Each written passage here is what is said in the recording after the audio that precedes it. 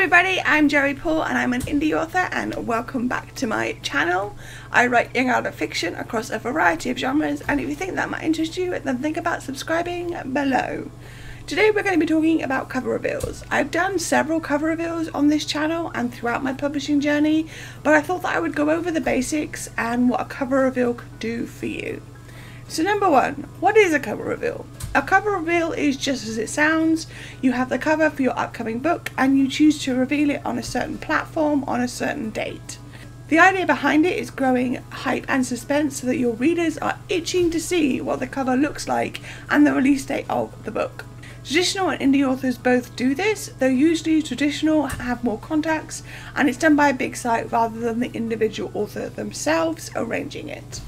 I can't speak for how it's done in the traditional world, but for me, it's always been something I do once I can confirm the release date and share it with the world. I will tease the cover reveal long before it's ready and will provide little sneak peeks before the big day, building up, as I said, the hype for the book itself.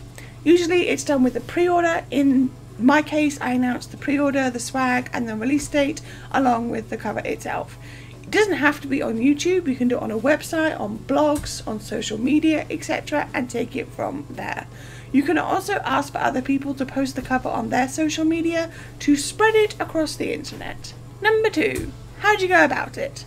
The how is very much up to you. Personally, I have been using Giftgrrl for a number of years. I send her the cover and the release date and she'll make a little reveal GIF slash video that she sends on to me and then I put it in my own video but you can also contact bloggers or release on Instagram or other social media. I know that there are a number of good sites for the graphics, being Canva and BookBrush. Both do a good job at making sure the reveal itself looks very professional. If you want to have bloggers and such who help you with it on the big day, you can set up a Google form and reach out through contacts or just talking about it on your own platforms and asking anyone interested to help. You can, if you want, hire a PR company or the like to do the cover reveal on your behalf they will usually have access to a lot more bloggers and the like which should hopefully extend your reach. The idea is for as many people you to see the cover as possible. You want people to see it and notice it and you want people to pre-order it. Personally, I also make sure that I also include the pre-order links and such because this is the moment when people might be thinking, love the cover, when can I have it? And letting them be able to click right there and then is a great way to make sales. I've seen people do book trailers to release the cover and that when done well can be a very good way to do it. I've seen people release a square of it a day before they finally reveal the full cover later on. There are so many different ways to go about it and you're really only limited by your imagination and tools. Number three, any tips? Like I said, I would very much recommend having the pre-order link and such ready. This is coming from me, who's not a big name author, so for a lot of people it's them seeing the cover that makes them want to buy, and if they don't have the link yet, that could be losing sales. If you have a massive platform then it's less of a problem because people will be happy to look it up themselves, especially if it's not yet readily available for pre-order, which is something I know some traditional authors have to deal with. I would also say that you want to make sure whatever graphic and such you use that it looks good. Knocking something together in paint just detracts from the cover itself. Make sure you use a good background, one that ties with the story itself as possible, and use sites like Canva, which is mostly free, or BookBrush, which isn't all in itself that expensive. Overall, make the reveal match your brand and go from there. It's a lot of work, but it's also a lot of fun.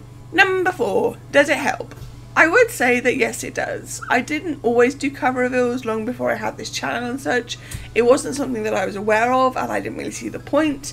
However, since then my audience has grown, I've learned a lot about the publishing process and I will say that for me it helps. A lot of it's always going to depend on the size of your audience and where you choose to reveal your cover. Like I prefer YouTube because I find it's all the more exciting but I also post on Twitter and the like so that all my audience gets to see it. It's one of those things that helps me and it might help you, but at the end of the day, it's completely up to you whether you go forward this or not. So there we go, those are my tips and questions about cover reveals and why I do them, whether I think they help or not, and how to go about doing them. If you have any questions for me about cover reveals, let me know in the comments down below.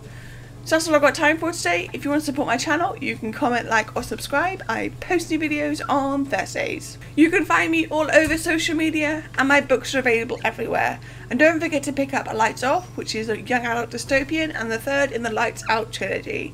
And also, don't forget to grab a ticket for Author City in Birmingham in July 2022, where I will be signing books. All the links for which are listed below. Thanks for watching, and remember to keep writing. Bye.